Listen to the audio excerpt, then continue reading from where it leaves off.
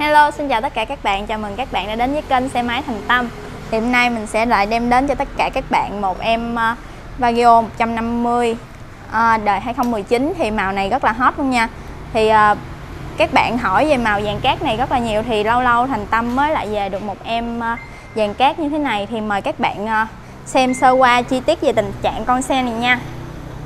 Thì uh, xe màu vàng cát rất là đẹp màu này rất là hot luôn đó mọi người uh, tìm mua rất là nhiều luôn. Thì à, phần đầu xe nè đầu xe ở đây thì phối hai xe thì phối hai màu đen với vàng cát rất là đẹp luôn.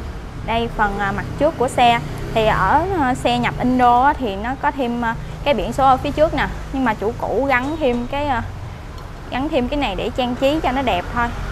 À, đèn thì là đèn led hết rồi nha các bạn. Nè đèn định vị led ban ngày nè nhanh thì cũng là led luôn. Xe độ mới còn rất là cao thì 90 phần trăm trở lên luôn á.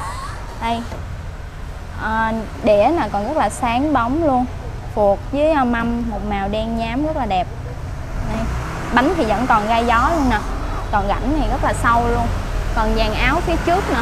Ở đây thì có một tem Honda màu trắng được dán nổi ở đây màu bạc chứ. Này ở đây thì có một vết chì xước nhỏ nhỏ thôi. Thì uh, xe cũ mà thì à, không giống như xe mới trăm phần trăm được nó cũng phải có một vết chạy xước nhỏ nhỏ. Thì dàn áo phía sau nè Vagio 150 được dán nổi ở đây. Xe còn rất là mới luôn á. Đây phần để chân nè để chân. Thì để chân thì cũng còn rất là mới luôn phần này thì dễ chạy xước nhất á. Mà theo mình thấy thì à, thấy thì nó cũng chạy xước ít hả thì à, mình báo ô đô luôn nha. Thì à, xe chạy được à, 10.351 rồi nha. Xe chạy cũng uh, ít thôi. Đây phần uh, Oppo Oppo vẫn còn nước sơn zin của hãng luôn còn rất là đẹp. Đây.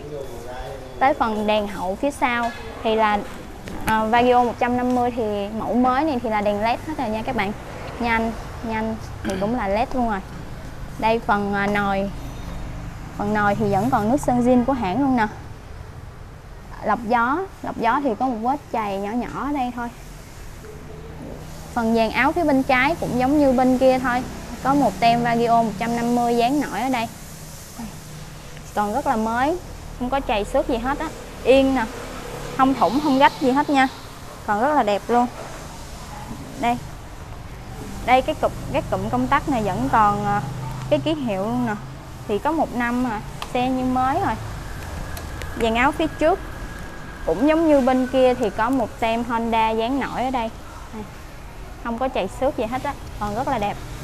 Thì sau khi xem sơ qua một vòng về tình trạng con xe này rồi á thì ờ, mình xin được nhắc lại nha. Thì xe này là Vario 150 mẫu mới đời 2019 thì hiện tại bên cửa hàng Thành Tâm bán dưới giá là 4x triệu nha các bạn.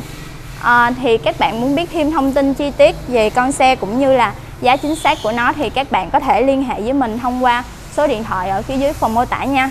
Cảm ơn các bạn đã xem hết video đến đây. Hãy nhớ like, share, subscribe, ủng hộ kênh Xe Máy Thành Tâm để xem được thêm nhiều video báo giá hơn nha. Tạm biệt các bạn và hẹn gặp lại.